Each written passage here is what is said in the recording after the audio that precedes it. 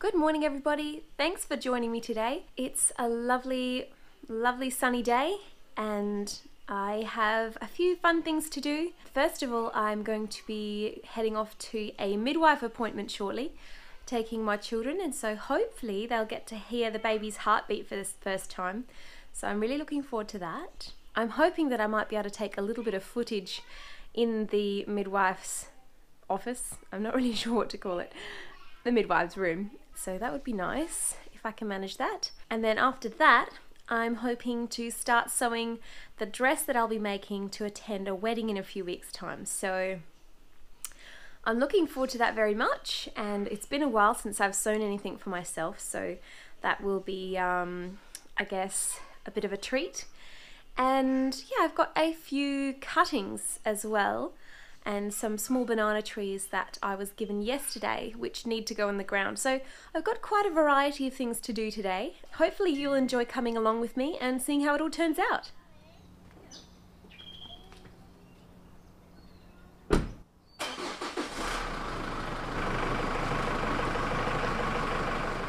Can you hear that? What does it sound like? The baby's heart. The baby's heart, that's right. Well, I'm back. Everything went well, and so pregnancy is tracking smoothly. But I am now all dressed up to do a spot of gardening. I'm about to do a little bit of pruning and trimming up of the cuttings I got. I don't have any rooting powder or any pot plants, uh, potting pots to put them in yet, so they're going to have to just stay in water for another day or two. Um, but I am planning to use my remaining potting mix to um, put the bananas in something. So yeah, let's get on to that. These are the cuttings that I got yesterday and the banana trees. They're just sitting propped up against some toys here. But they are of such varying sizes that I'm just going to sort them out into some smaller containers over here and just sort them by size a bit more.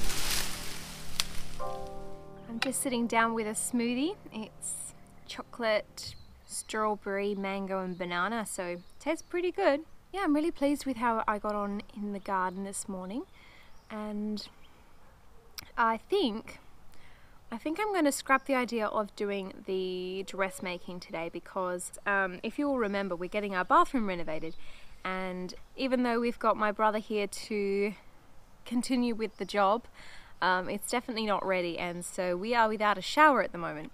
And so I thought, well, since I'm out in the garden getting hot and sweaty, I might as well continue, and then I'll try and do some dressmaking tomorrow. We now have render on the walls. And don't mind the door just sitting there. And a concrete floor as opposed to sand. So this is just going to be tidied up and then we are waterproofing that whole area which is going to be the shower. And probably some areas near the bath as well, I would imagine. So that's going to happen today. It will be super stinky, so I am out of here. We are back home again and I have just had a smoothie for lunch and I've come back to a very smelly house. But that is a good thing because that means our bathroom is progressing and the sealant has been painted on. So our bathroom is now blue. This sealant or waterproofing has been painted on. We need to put another coat on before we can get on with the tiling well, I'm not going to be tiling, but my brother will. And uh, so it's all good, it's coming together. Shouldn't have any problems with leaking walls anymore. but it really does smell so bad. It is burning my nostrils. It's a really strong kind of chemical smell. Um, so I'm just going to go out in the garden and get some fresh air. I've just opened up the house as much as possible to try and let all the smell out. And um, once it's not so smelly, I'll go back inside and try and do some sewing. I've really got to get my dress started for this wedding we are going to be attending. Um, but while I'm out here, it's turned out to be a lovely afternoon, despite some rain we had around midday. Um, and my flowers have bloomed. I'm super excited. I planted these roses about a week or so ago and they are just looking lovely. This one is called Molyneux and it has just a gorgeous yellow bloom. Oh, the shadows. Oh, we got a bee. There we go. And it has a wonderful fragrance, very sweet, um, but yeah, just delightful. This bulb is starting to flower. I don't even know what it's called, but yeah, it's starting to flower. And then this one, which is a Claude Monet, is flowering as well. It has a much lesser scent than the yellow Molyneux, but um, the actual colour is quite stunning. Um, and this one is getting some leaves, which is lovely. I always love fresh spring leaves, they're so gorgeous.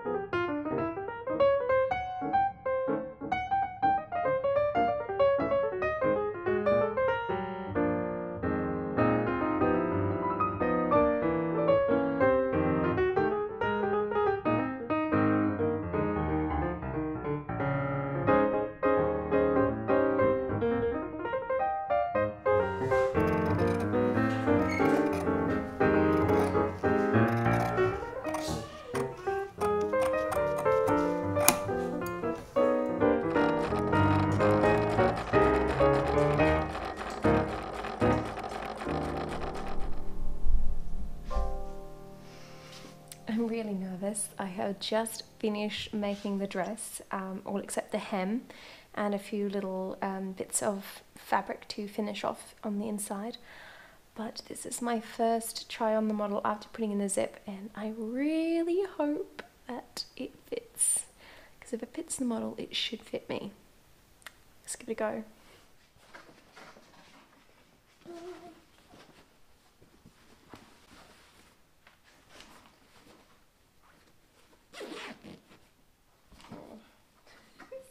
really tight.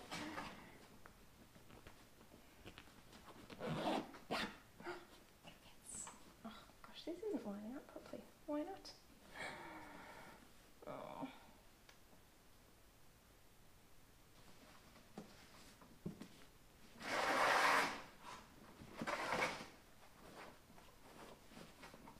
Yeah. Okay, it's on, so it should fit. I am really frustrated though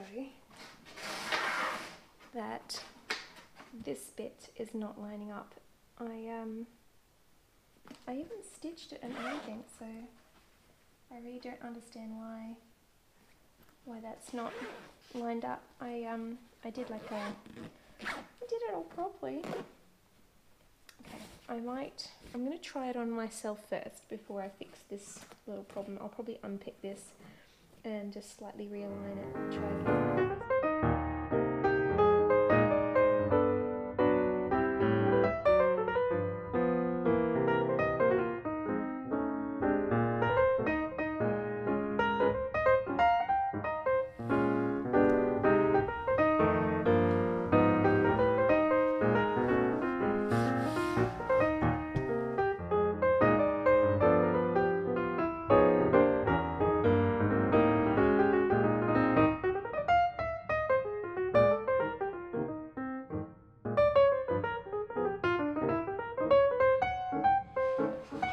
So those sewing segments that you would have just seen did not just happen in one day. I ended up spreading it over a week and so we've now finished with two days to spare before the wedding. So I'm very relieved that it's done and I've got something to wear on the weekend. I've got the dress sitting right next to me here and I'm about to try it on and so really excited and a bit nervous. I did try it on once throughout the process um, just to check after I'd done the zip that um, it was actually going to do up and I wouldn't have to start all over again. But I hadn't finished the dress and the hem still needed doing and all that kind of stuff. So this will be the first time to try it on fully finished. Let's see how it goes. Ta-da! What do you think?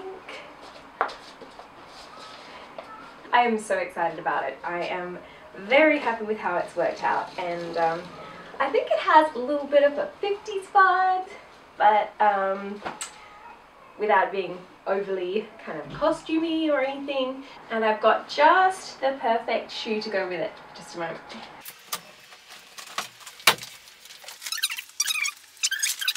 I have this pair of heels which I think I've only worn to maybe one or two dates and possibly to church, I'm not sure.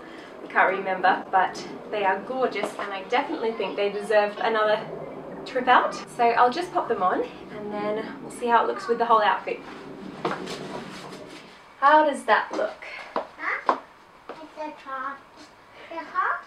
They are a bit high, so I don't think I will wear them for the whole day, but I think I'll definitely give them a go for the ceremony. I think we'll be sitting down at the ceremony, but if not, it probably won't be a very long one anyway, so these should be fine. But in the evening, since we have a stand-up reception, cocktail reception, um, I think I'll want something a little bit more doable, a bit more sensible, especially as I'm expecting and I'm more likely to, I suppose, hurt my back or something like that. So I think I will just go for something a little bit lower in the evening. Maybe.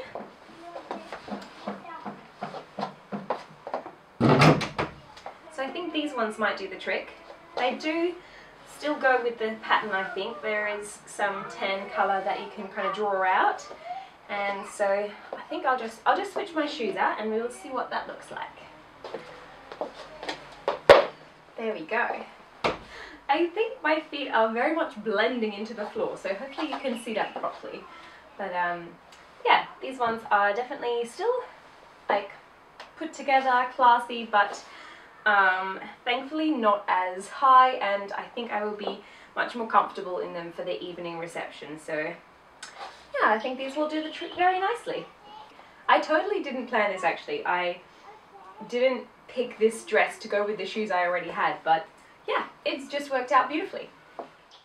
Now, unfortunately, I didn't get any footage or photos at the wedding except this one here where I'm wearing a coat over the top, so that was a bit disappointing. But I've got one here on the model where you can see it in full size and hopefully see some more of the detail not being blurry like the other segments. I'm so sorry about that. But that's all from me for today and so thank you so much for watching. I'm sorry this vlog isn't one of my best but it had just too many things in it that I couldn't skip out. But I will do better next time and I will see you then. Thank you so much. Bye!